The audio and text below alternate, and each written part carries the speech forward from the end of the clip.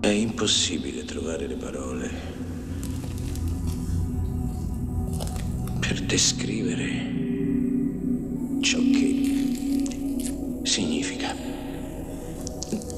l'orrore.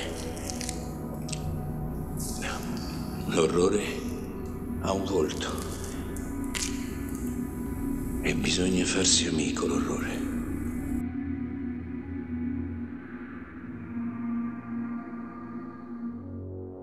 Mio Dio, che genio c'è in questo, che genio, che volontà per far questo. Perfetto, genuino, completo, cristallino, puro.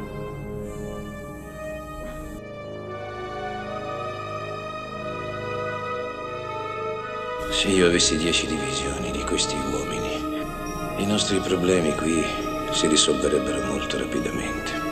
Bisogna avere uomini con un senso morale e che allo stesso tempo siano capaci di utilizzare i loro primordiali istinti senza emozioni, senza passione, senza discernimento, senza discernimento, perché il voler giudicare.